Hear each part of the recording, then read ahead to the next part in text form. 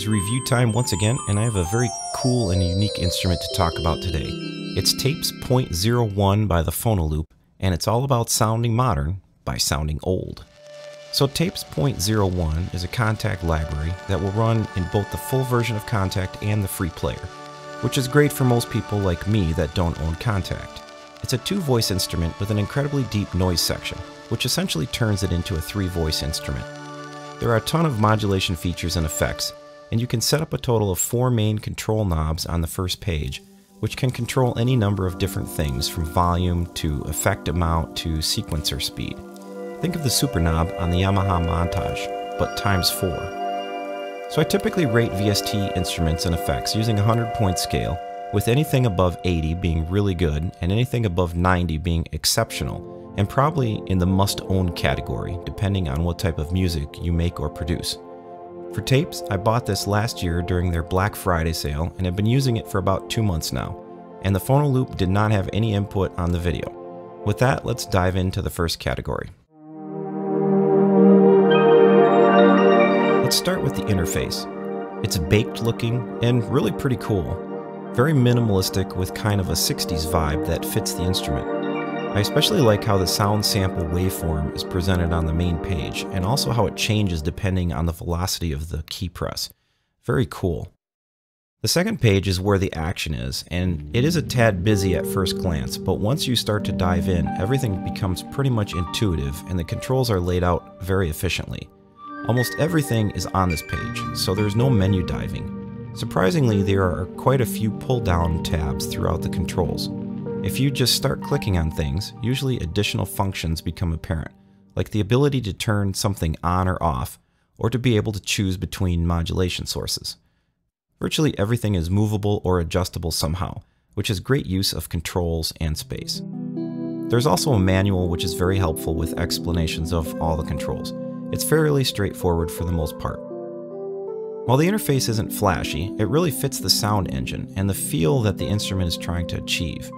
The one gripe that I would have is really a limitation of Kontakt and not Tapes .01, which is the ability to adjust the size of the interface as the text here is quite small. Hopefully this is something that Native Instruments will resolve with the release of Kontakt 7. And frankly, this is a small price to pay for having everything on one page.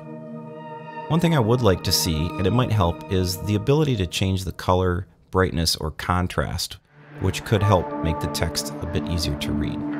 While it's not perfect, it is really good, and I don't know that I would change much at all. I give tapes a 17 out of 20 in this category.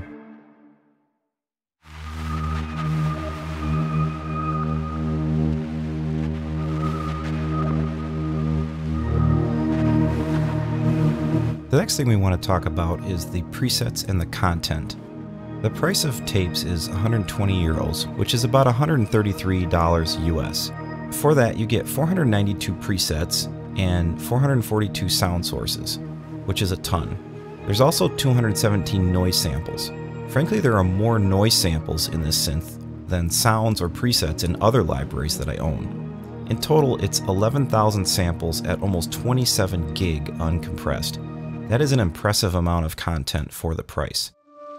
But even though there is a lot here, are the presets any good? Are they usable? And I would say not only are they usable, they're fantastic. There's your basic synth, bass, and noise type presets.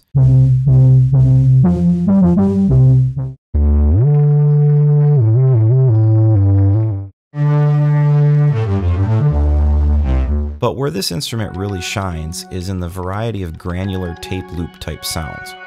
If you've heard of or own a Chase Bliss Mood or Blooper, or a hologram microcosm pedal, and if you like the type of effects you can achieve from these, then tapes is absolutely for you.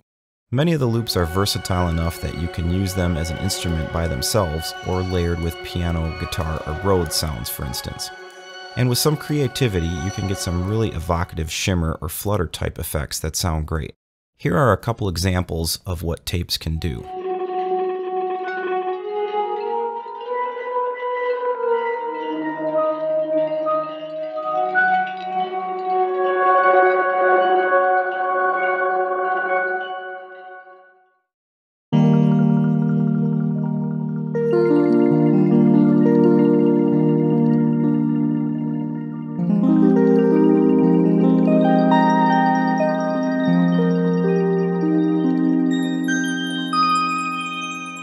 As you can see here, these are really awesome and unique.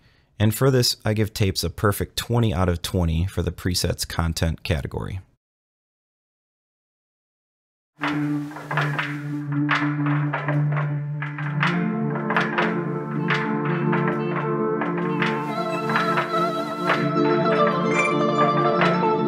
Tapes has a very unique sound. It's not like a pristine sounding piano or a violin with dozens of articulations. In fact, it's the opposite of that. It's dirty, gritty, full of noise and character. It has a warmth to it and a very organic feel.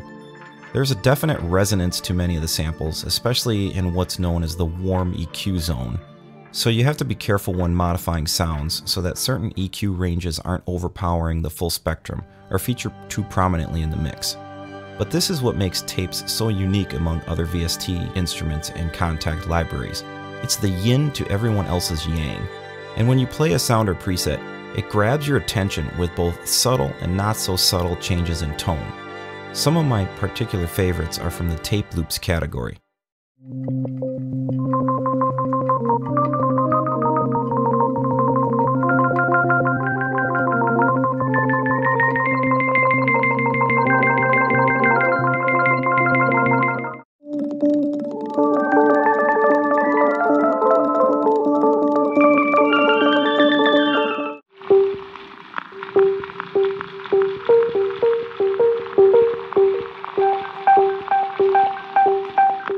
The explorations category.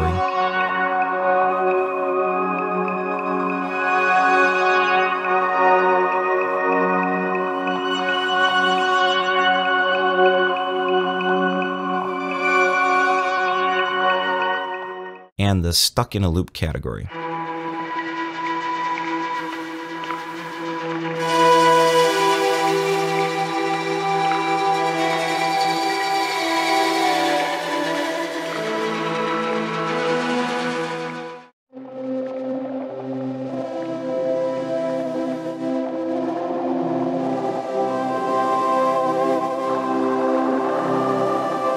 These are really lo-fi dreamland and you can get lost, spending hours of time just listening, randomizing, and playing each sample.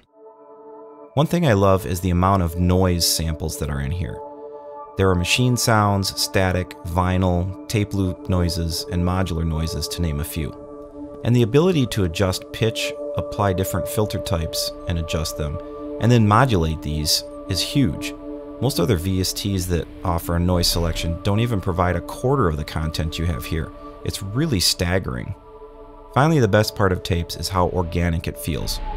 With the Swarm engine and all the modulation and randomization features, it's easy to create a patch that will continually evolve and you can make this as subtle or dramatic as you want. For quality of sound, I give tapes an 18 out of 20.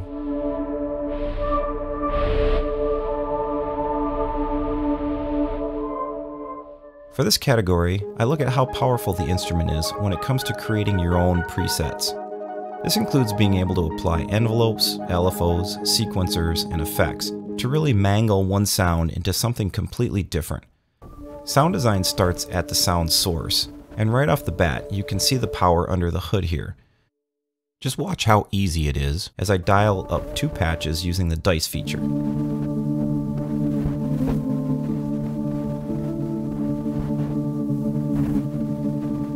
You can then adjust the start location of each sound, adjust the volume,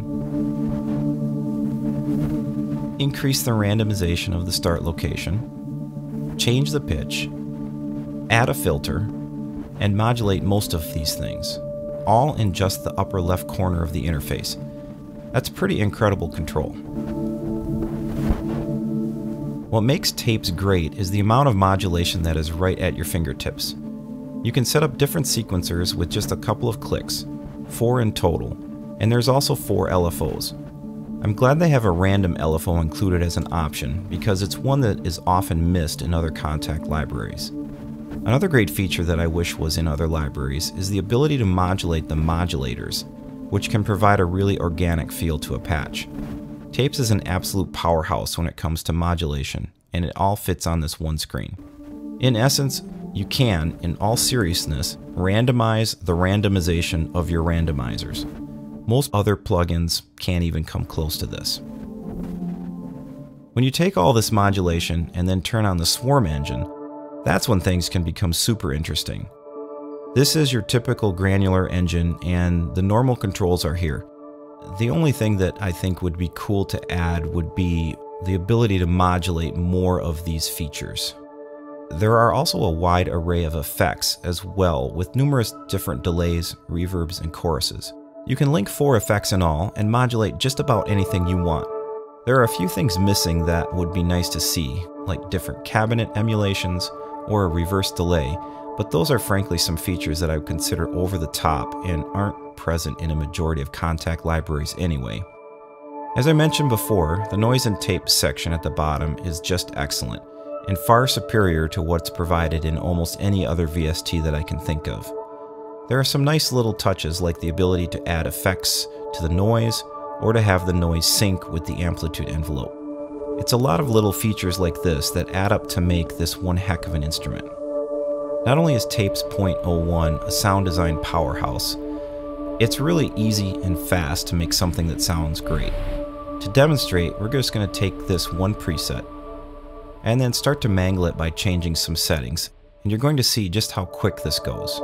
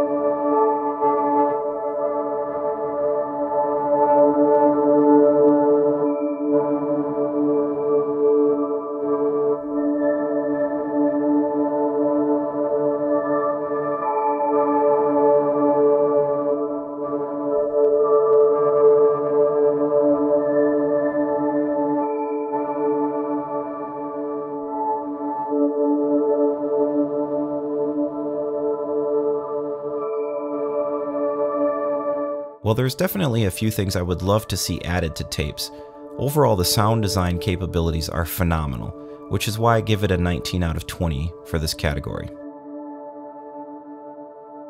Finally, if we add everything up, my total score for tapes is a 94 out of 100. And it's a must buy for anyone who loves guitar loop pedals, lo fi, ambient music, Brian Eno, or for anyone who wants to sound modern by sounding old. It's a ton of fun to play with, it sounds great, and at 130 something dollars, I give it a 9 out of 10 in the value department. And if you get it on sale like I did at less than $100, it's more like an 11 out of 10. So that's a wrap for the review. If you want to hear more examples of what Tapes .01 sounds like, check out my Best of 2021 video in the link below. Thanks for watching, hit the subscribe, and we will see you on the other side of the mountain.